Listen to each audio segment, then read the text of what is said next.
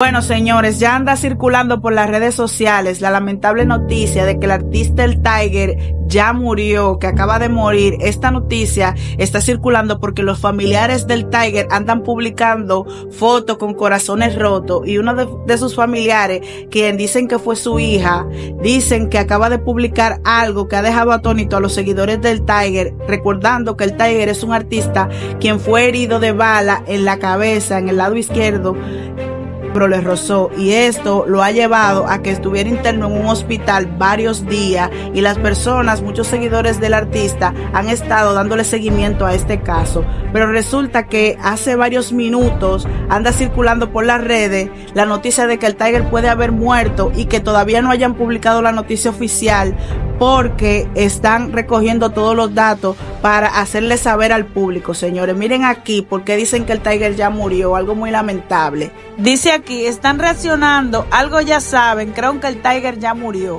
Una publicación de sus familiares dice, hoy es el cumpleaños más triste que he pasado en mi vida. También están publicando fotos del Tiger con sus dos hijas en la cuenta de los familiares. Y también una foto con el Tiger de corazones rotos y por eso ya los seguidores del Tiger andan diciendo que ya él murió. Algo muy lamentable. También, señores, algo que un dato que está corriendo por las redes es las razones por las cuales le dispararon al Tiger. Están diciendo que el Tiger pertenece a pandilla y que había una, un video que anda rodando por las redes donde el Tiger había amenazado a alguien de darle un tiro. Entonces esta misma persona tomó represalia en contra del Tiger. Tú no me metido, ni me vas a meter y ya lo que estoy es loco por cingarte.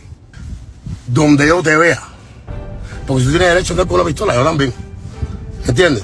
Y yo no ando con el descaro ese que tú andas, un 22. Yo te voy a meter dos, ojalá son 45. Que lo tengo en mi casa y lo mandó a matar, señores, pero lo, lo, hizo con el supuesto amigo del Tiger que ahora está buscando a la policía, le pagó un dinero y ahora resulta que el tipo salió huyendo y a última hora, oigan esto, señores, a última hora esta persona que le disparó al Tiger, como eran conocidos, se arrepintió y decidió dejar al Tiger cerca del hospital donde ahora está internado, señores. A este delincuente le hayan dado un tiro después que se ha pasado todos estos días amenazando públicamente a tres o cuatro más con que les va a con que les va a dar un tiro la cabeza. Esto a ustedes les sorprende. Ahora yo estoy obligado a empatizar, a compadecerme por un tipo que no tuvo ni empatía ni compasión.